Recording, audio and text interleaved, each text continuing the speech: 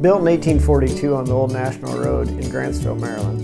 This historic inn has been serving our community and guests for nearly 180 years.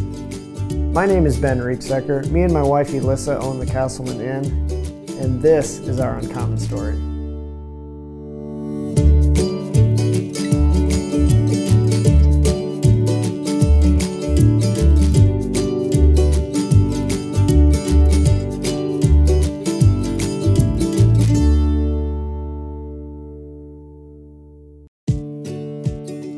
So when you talk about the Casselman, what does that include?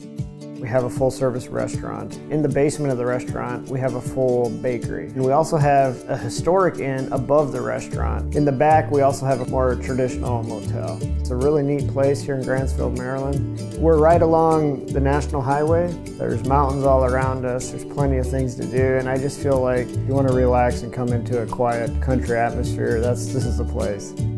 It was built around 180 years ago. Solomon Sterner, he bought a big tract of land and he made the bricks for this building right off of the ground. It's been named several different names over the years. From 1964 to 2017, the Miller family, which was my wife's um, great aunt and great uncle, owned the, the building and the restaurant. My wife's mother and all her sisters, everybody worked here. It was kind of a family operation at that time. Never in my wildest dreams did I imagine owning a restaurant. It's not even something that was on the radar. The fa Miller family is important to them to keep it in the family, and I think that is probably the reason we got asked. But I enjoy working with people, and I felt like, God, if this is what you want us to do, I'm in, and that's kind of how it started. As we go through this um, journey, it, it helps me keep focused on what is important. That it's not just me, I'm just a little piece of history in this whole thing. And to me, that's really exciting just to know that we're still part of that history. So coming in here as a new guy, how do you start? I just started from the bottom, just like anybody else would. I wanted to know how this place works inside and out.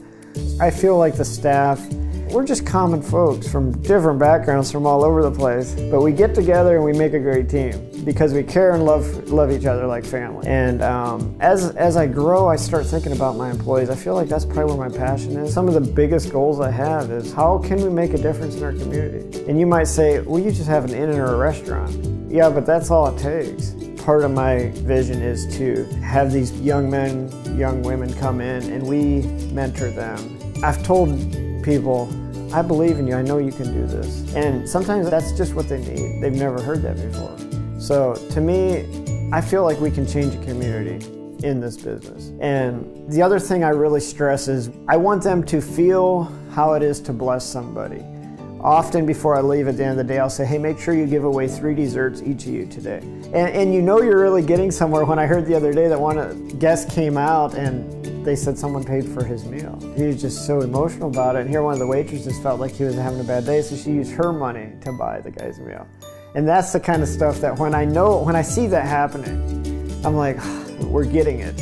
If you look over the history of the inn, of all these years of just serving people. I feel like that is who we need to be. And when the needs in the community arise, we want to be the first ones to be there and say, hey, what can I do for you?